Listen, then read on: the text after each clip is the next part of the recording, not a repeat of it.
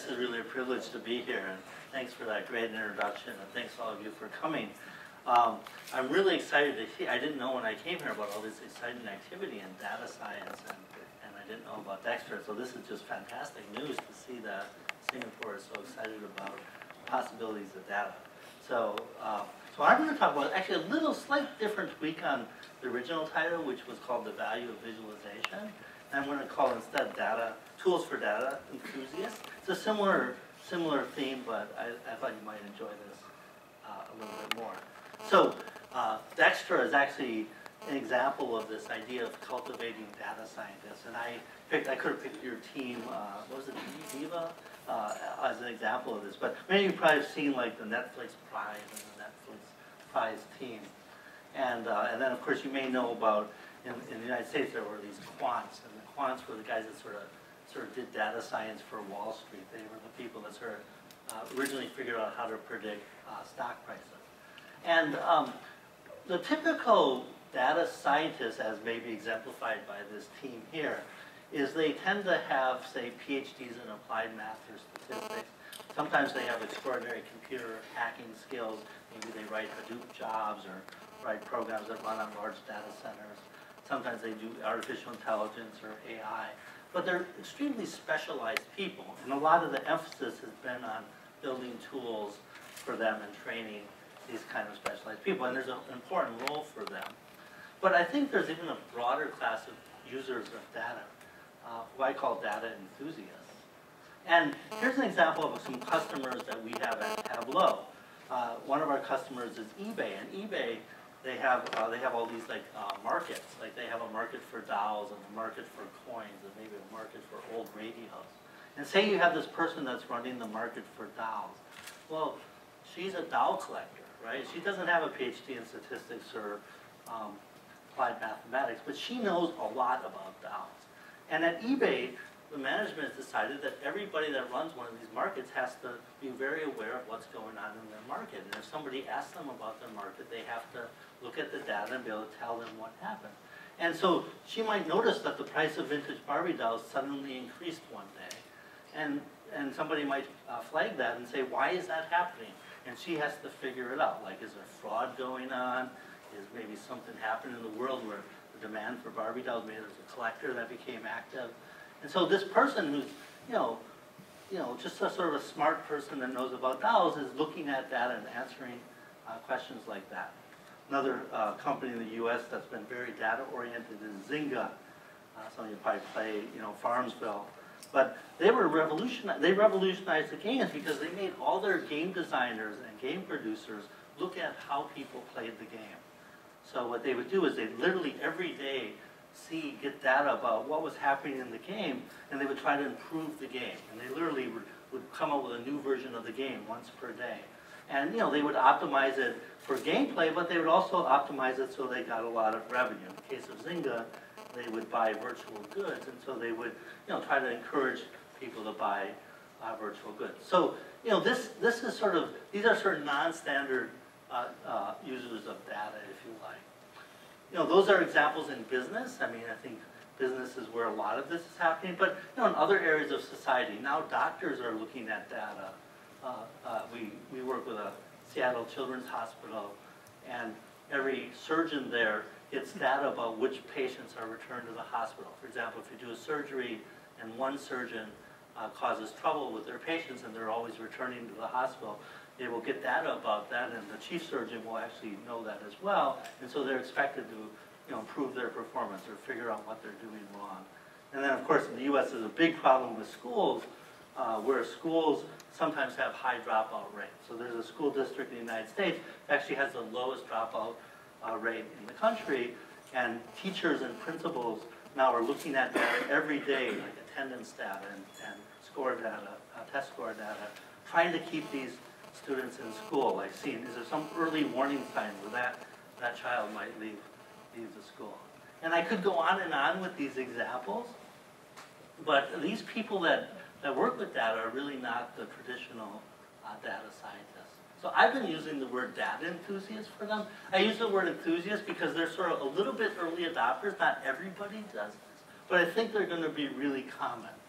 There are people with questions right? The, the, the, the doctor is very interested in what happens to his patients, and he wants to know the answer to that question. Some statistician isn't going to ask, ask that question about his patient. And they're on a mission, right? That doctor is really interested in improving health care, okay? And they're very passionate about that. In fact, they're passionate about it because they think with data, they can become a better surgeon, right? They can find out what maybe they're doing wrong with the data that they wouldn't find out through other ways. So they really want to be a better surgeon and they're going to look at the data to do that. You know, so they have a deep understanding of the business or their occupation. They tend to be excellent analytical thinkers, right? Teachers and doctors, for example, are good analytical thinkers, but they're not programmers and not statisticians. And I claim that for every one of these data scientists, there's going to be like a hundred or a thousand or ten thousand of these people.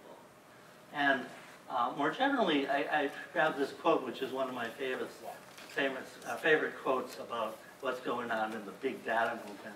But it's by Hal Varian, who's the chief economist at Google and has popularized a lot of the data. But this first paragraph is really worth reading because I think this is what's going to happen. The ability to take data, to be able to understand it, to process it, to extract value from it, to visualize it, to communicate, it's going to be a hugely important skill in the next decade. Not only at the professional level, but all educational levels, from elementary school kids to college kids. And why is that? Because now we really do have essentially free and ubiquitous data. So the scarce factor is the ability to understand that data and extract value. See, to me, big data is really about ubiquitous data. All the really large data sets get all the attention. But when you have large data sets, you have small data sets. You have this long tail. And data, when it flows into an organization, it may accumulate somewhere and be big, but then it tends to flow out. At eBay, they collect all their transactions, but then the data flows out to the individual managers of the different stores. Um, and so, so we're going to get free and ubiquitous data. And then the question is, how do we train people to use that data? That's, and how, I guess at Tableau, we feel, what tools should we build for these people that use the data? So that seems to be a really great challenge uh, that we have right now. So I just go, I just mentioned this, I, I grabbed this paragraph if you want to read it, but a lot of people when they learn data analysis, they learn it from statisticians. But statisticians are just a part of the story here. Uh, it's not the whole story. And in fact, what I've been doing at Stanford this year, I'm actually on leave, is I'm actually trying to put together a course on data analysis that we would teach uh, Stanford undergraduates, teach the Stanford undergraduates. And I just to tell you a couple of different things about it. First is actually, I think data analysis falls under this broader uh, thing called analytical thinking, which maybe seems sort of basic, but I actually think you have to have good analytical thinking skills to be a good data analysis person. And I actually think my job as a professor is actually to teach people to think, you know, with different ways of thinking. But anyways, here's my definition, maybe you just compare it to yours, but I think analytical thinking um, is a structured approach to answering questions and making decisions based on facts and data. It's maybe not too controversial, but let me just go through it for a second. A, structured approach means it's not random search. You don't just get a data and just start randomly visualizing and flying through it. That's not going to lead anywhere. You've got to be, you know, rigorous, and you have to develop methodologies for processing data and analytically. You want to answer a question. You want to start with questions. That's really important because, you know, it's like the scientific method where you have a hypothesis. So in our case, we'll call the hypothesis the question. You're curious about something, okay, and you want to find out an answer to a question. You want to you want to get decision making involved in this because the analysis you do, okay, depends on the decisions you make. That doctor, if they're making a decision about somebody's life, about some treatment, that's a very serious decision that Netflix prize team that's just recommending a movie, that's not a serious decision. You can use completely different techniques for recommending movies than you can for advising people about their medical care. And then, of course, based on facts and data, I think we all assume that's important, but you know, you have to put this in some perspective. I don't think the world is generally run based on facts and data these days. Maybe in Singapore, but not in the United States. So uh, it's mostly hunches, it's you know opinions, it's who has the power. It's not based on rational decision-making using the data. So I think every one of these aspects of this is really important. And when you talk about uh, big data or data analysis or analytical thinking, you need to think about all these and, and more things. So if you're going to be a, a data analyst or, or an analyst, who do you emulate? I think you emulate Sherlock Holmes. Why? Because he, he's a detective. He's an investigator. If you're going to answer a question and figure out something, you got to act like an investigator or a detective. You got to track down that criminal. you got to have the drive to do it. Okay, that's really important. You, people are good data analysts. They want to solve the problem. Okay, they're just not doing it because it's fun. They're interested in getting that criminal. And you know, uh, Sherlock Holmes has great quotes. I, I read his books pretty regularly, but you know, he sort of epitomized to me what a, you know, some investigative analyst would do. You know, this quote, it's a capital mistake to theorize before one has data. Insensibly, one begins to twist facts to suit theories instead of theories to suit facts, right? You know, I mean, this maybe seems obvious to us, but again, it's back to facts and reason. It's easy to have a theory about something, but is that reality? You know, let's get some information, get some facts. Uh, second, data, data, data. I can't make bricks without clay, right? You know, what a great, what a great quote. And, you know, think of Sherlock Holmes. He has this magnifying glass, and he's wandering around looking for clues, right? He's trying to find data. Just think how much work it is for him to find that data. He has to, you know, work like crazy. Half the stories are about him finding the data. And, you know, back to that quote, I started with that now we have a lot of data. I wonder what Sherlock Holmes would, you know, think of nowadays if he was just surrounded by data all the time. He'd put aside his magnifying glass. He might, you know, maybe he'd enjoy it. I don't know. But he, but even if he did, if he had all the data, he'd go still look for some more. So part of that, you know, part of the investigation is, you know, somebody just doesn't hand you a data set. I actually don't like people handing me data sets. When I teach visualization analysis, I make people go get the data. You gotta go get it.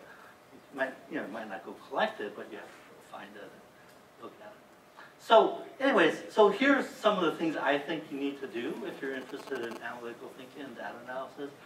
Uh, you have to learn how to pose questions. I, I, I keep coming back to this question thing, but I think it's the most important thing in some ways. Um, when I think of what, again, back to, I'm a teacher too. What do, if you're a grad student of mine, what I tell you the first day is I'm going to teach you how to ask the, the right questions. Anybody can answer questions. The really smart people can ask the right questions. Uh, but anyway, then you have these more practical things like getting the data, verifying it, normalizing it, joining it with other data. All of these are quite complex steps. Then you get more into the simple analysis, look for patterns relationships, summarize it, confirm hypotheses and analyze errors. That's the classic statistic. Communicate findings with others, which is not normally emphasized very much, and then make decisions and act. Uh, but and I could drill down to all these things, but I think you sort of get the idea. You really need to know a lot of different things in order to be a good analyst these days. So anyway, that, this is sort of, each week I sort of cover one of these, one of these topics. Uh, okay, so I just want to, uh, uh, to end, uh, I did say I was going to talk a little bit about visualization. So just, just to preface this for a second, I think if you're going to build tools for these kinds of people, they have to be highly interactive visual. You know, just they don't know how to program, they're not going to type in scripts. So you want interactive tools. And I've been very interested in how people uh, use visualization and how to build visual interfaces. And I just want to tell you what I think is the single most important thing about it, which has uh, uh, been researched most famously by a guy named Herb Simon and uh, his student Larkin. But it starts with this, uh, you know, a picture is worth 10,000 words, which we all have heard, I'm sure. But he has a paper, this is the actual title of his paper, I recommend you read it. Why is a picture worth 10,000 words? And then he puts sometimes in there, which is sort of a hint. Picture might not always be worth uh, 10,000 words. So this is actually the crux of the matter, because if you know how pictures work, if you know how people use pictures to think, then you can design good visualizations. And in fact, you can design good interactive visualizations because they just augment this process of using pictures to think. So this is, this is pretty important paper, and I should mention, this paper is actually, just to encourage you to read it, this paper has been, is very accessible, easy to read, and it's been voted one of the ten, one of the ten greatest papers in cognitive science of all time. It's the only one involving visualization, I think. Uh, so it's really quite a landmark thing. But anyway, I, I'm gonna show you sort of an example which is motivated by this paper, which is very simple, but I hope gives you sort of a sense of what he found out in this research. So, you've all seen a table like this, and the first thing you'd expect the visualization person to say is, this is a bad visualization. I'm gonna tell you, this is a good visualization. So if you ask this question, how much mint tea was sold in the West? Okay, so you can figure that out pretty quickly, right? You, the columns are different uh, regions, uh, so you see they're in alphabetical order, so it's fairly easy to find West because it's at the end of the alphabet. You can scan through that very rapidly. Similarly, uh, for mint tea, you can see there's two T categories, and then mint is one of them, and then you intersect those two lines, and um, and you find what four thousand three hundred twenty-eight dollars. Now you say, well, that that wasn't so great, but the neat thing about it was you didn't have to look at all the numbers. You use the headers to quickly find the data. Um, now, so and and and what what Simon did is he said you actually have an algorithm in your brain for figuring this out. You have a search algorithm. You you scan the headers and you scan the columns, and in fact, this is actually recursive, it's a hierarchy, so it's like log n time to home in on this. So he said this is, takes like log n time to look up that number, uh, Simon would say. And he, you know, he say this is, a, you know, pretty efficient, he called this an efficient representation of the data, given that you wanted to do this task of answering that question. So that's actually a pretty good way. And if you want to look up a number, there's nothing better than a table. But if you just take the same table and just tweak the question a little bit, what product in what region sold the most? Okay? Does anybody know how to answer that question?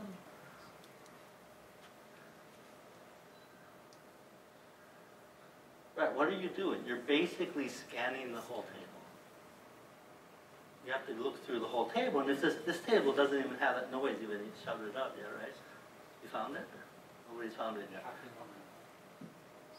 So it turns out that you can scan it and make a mistake. But it, I think it's Colombian coffee, Colombian coffee indeed. Um, so the, the reason that this is not so easy is, I said, you had you scan it, as you scan, you're also doing two other things. You have to remember what the max is, which, you know, occupies your brain.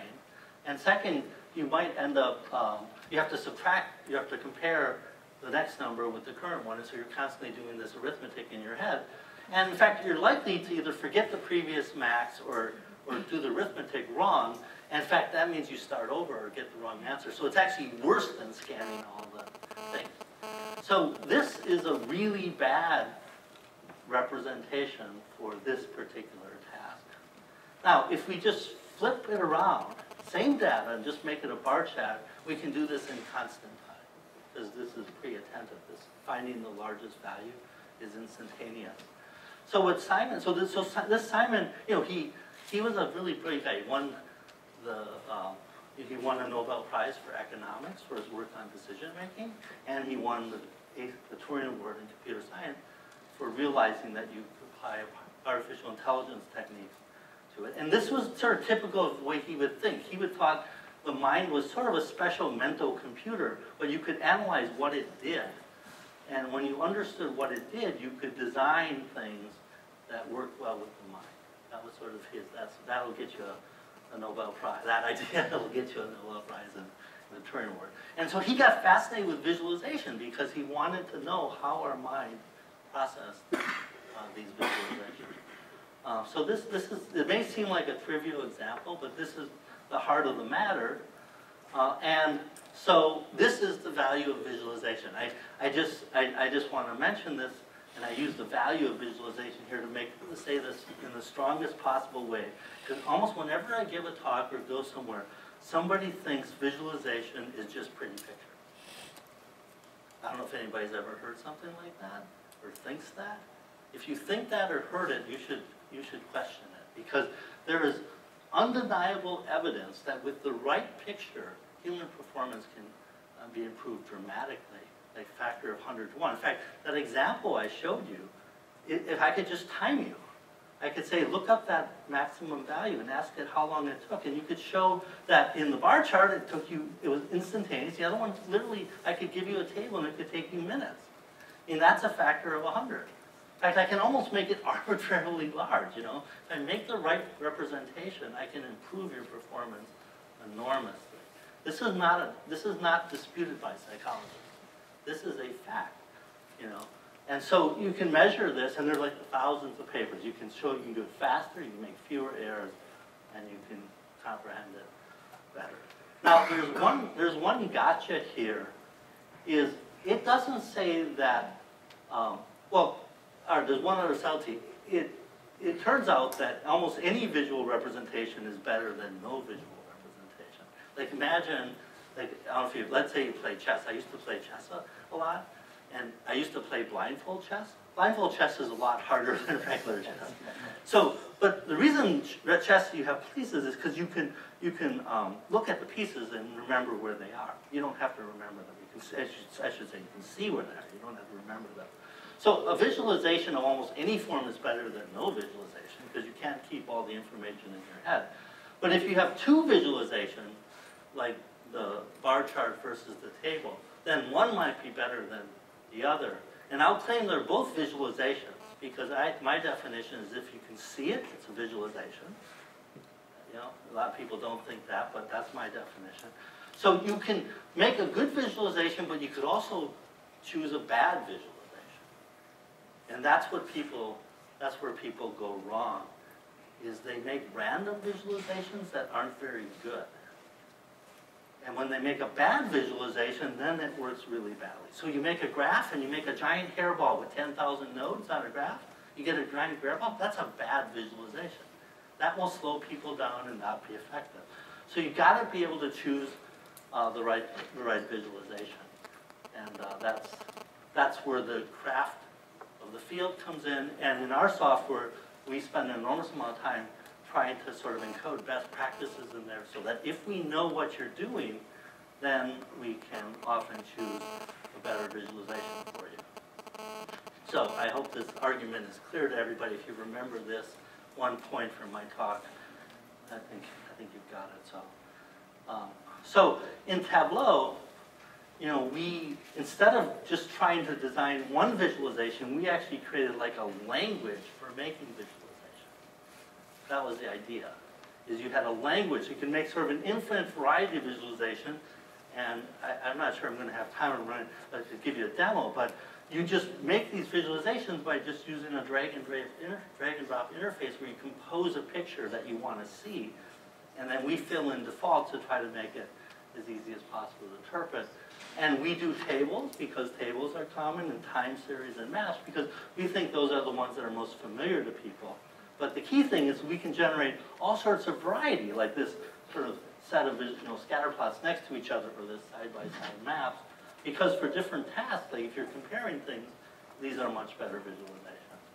So a lot of, you know, so it's anyway, it's, a- it's just a language for, doing this. And this was very much motivated by Simon's work on what, that, about choosing the right representation for the task.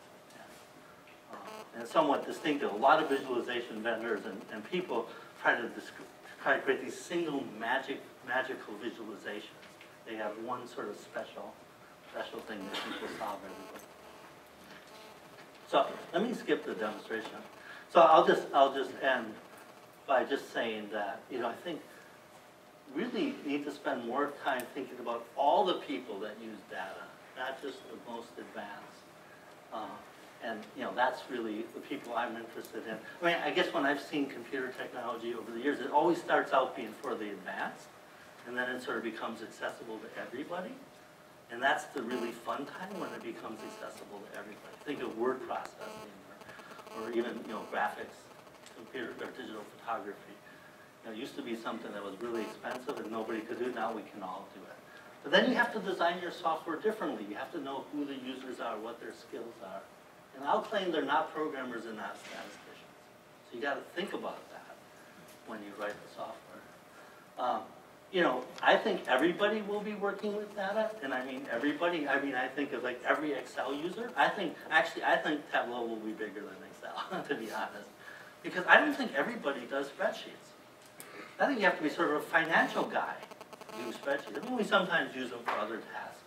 But I think in the future, we'll have more people using data. Just like, you know, you want to start with something, if, if you want to, you could start with, a- like, we used to have drawing programs in graphics, and now we have digital photography.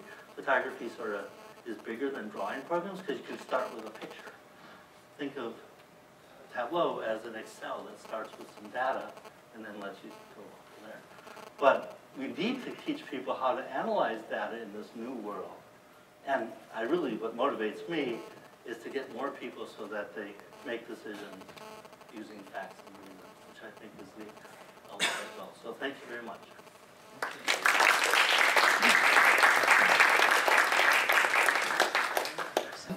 Clearly, whenever you reference Pixar, the burning question anybody has is, what was your favourite character? In, in Pixar, oh, oh, uh, Buzz Lightyear. Good, good choice. Um, and any other particular other ones, or? Well, yeah, I, well, we were really into the characters, so you know, you- it's, it's like sort of, it's sort of like kids, you know, you can't really quite have a favorite one, you know, you gotta sort of like a lot, yeah. Good stuff. Now, it's, so it's um, moving on to sort of visualization, Tableau. I mean, has anybody got any questions that they would they would like to ask? I mean, and obvious, while you just think and talk about it. Oh, my, well done. Go on.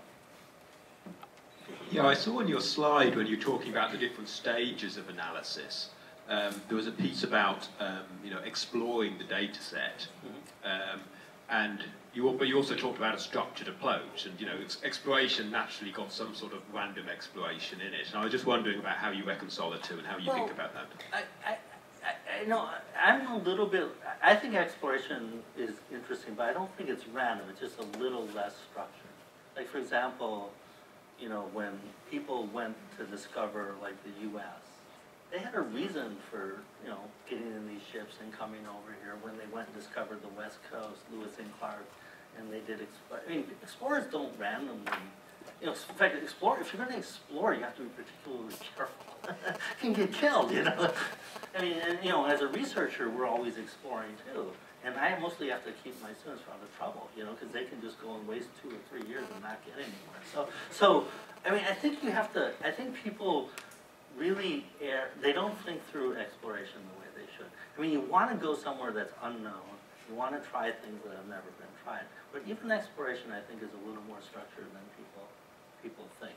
But there's something magical, you still want to sort of discover something you were, that's unexpected, you want to put yourself in a situation to find it. But I think, I think there are skills you can develop for efficiently exploring things. You know? And I, so I think that's sort of a, you know, an area that's of interest. There's not been a lot of research on that, but I think there's ways of building tools that encourage sort of good exploration. Great, David. Um, yeah, just, just want to take the examples that you used, the table and the bar charts. And based on your, your experience in software, is there a particular way visualization when it's presented tends to, you know, get more attention quicker? For example, you, you had the bar chart and you had the big green bar on the left. Would it be more effective if it was in the middle? Would it be more effective if, if it was red?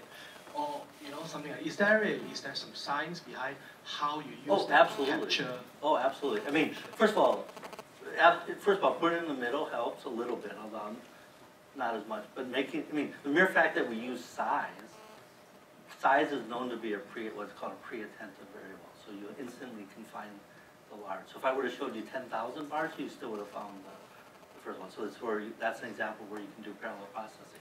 Color is another example of that. If we had one red bar and the rest were green, you would instantly find it. So yeah, all those are variables. Uh, Where things get really complicated is when you start having more than one variable in play. Then they, then the different, then you can start fighting with your attention and then you can get in trouble. But that, that we can go offline on that. But, but generally, there's a bunch of known sort of visual, we call them visual encodings or visual representations that are known to be pre-attentive. So you want to, you want to use those. Yeah, absolutely. And then, in terms of, I mean, that- that's called pre-attentive. I think you're probably also thinking of more subtle attention, like, I would call that more emphasis, like, or, or, or things of that type. So, you know, if you wanna emphasize the comparison between two things, you should put them right next to each other. You know, I mean, that, that's an emphasis, and you still have to go to some effort to compare them, but that will emphasize the thing you want the person to do. So I think an emphasis, I mean, pre-attentive, that sort of like just jumps at you, that's automatic. I think the more subtle attention is, is more, you know, more complicated, and has to be designed in. Any other questions from the floor? Um, I've just got one question, so if anybody has got a question, just put your hand up. Um, we've got quite a few people here that have started their own businesses. I mean, how hard was it to get Tableau going? It's really hard, it's, it's really, really, really, really, really hard. I But mean, you're a You're a really- genius, you're a genius, so No, no, surely it would have been no, no, it's right? really, really, really, really hard. But, no, I didn't finish, but it was, it's really, really, really, really, really, really, really fun. Uh, I mean, I, I, I, I totally understand Japan. I mean, so what was, what was, what was the kind of breakthrough moment? Because obviously you're trying to explain to people a new category, a new type of, Yeah, that, that was always hard. So just to put in some perspective, I mean, I, so my background, I was uh, trained as a physicist, and I learned sort of data analysis when I was in school.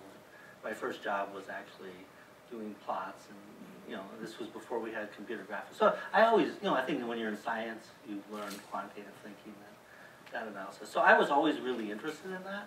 Um, and when I, I sort of decided to, uh, you know, go back to the university when I left Pixar, I wanted to do something involving graphics that was not entertainment based. So that I was very motivated, uh, motivated uh, to do that. When we started the company, you know, 10 years ago, I actually wrote a paper that you could have called the Big Data Manifesto at the time. I, mean, I, I think I used massive data instead of big data 10 years ago.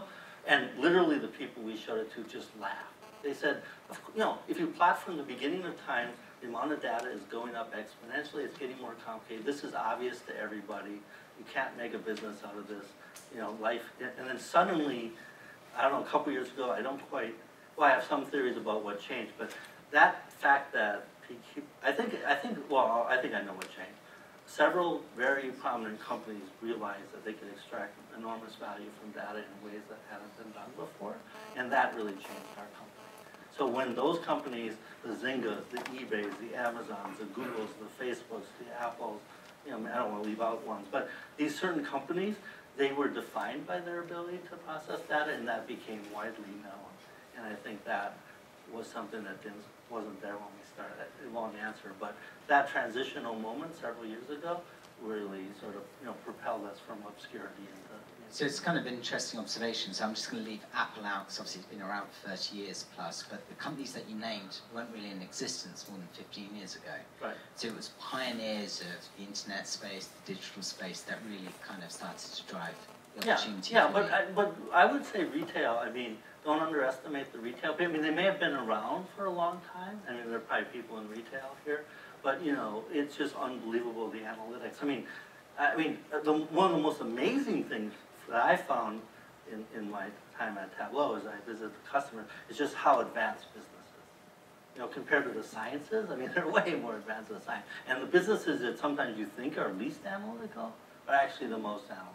So retail, I think, is an example of, of an area where people have been very analytical. So are there any more? Is there any questions?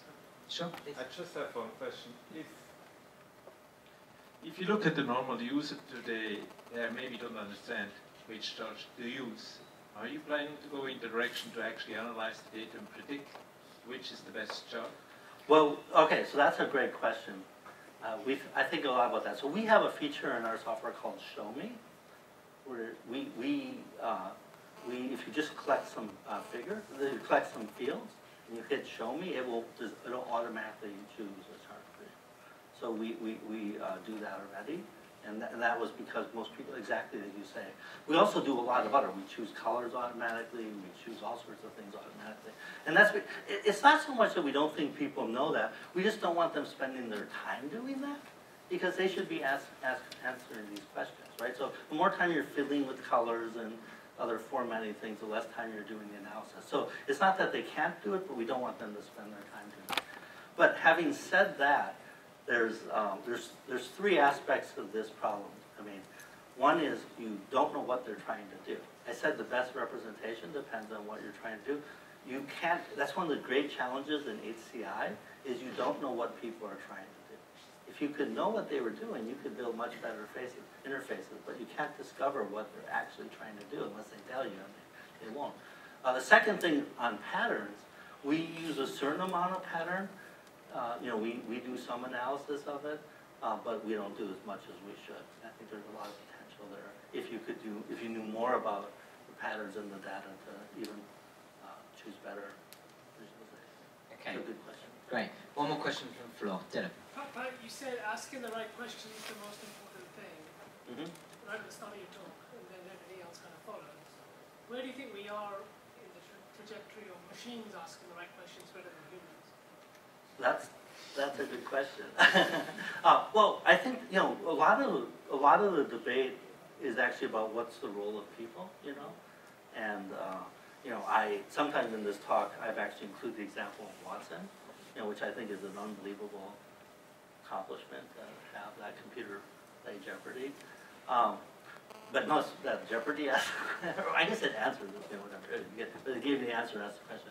So I don't think it asked the right question. But I, I think it's gonna be very hard for computers to ask the right question. I mean, um, uh, and, you know, we could get into a long discussion about that, but I think there's just a lot of knowledge about what's important. There's a lot of data that the computers actually don't have. There's a lot of things that are personally of interest to humans that computers might not have. You know, I think that's, I think that's one reason you need people involved, is they wanna ask the most important questions.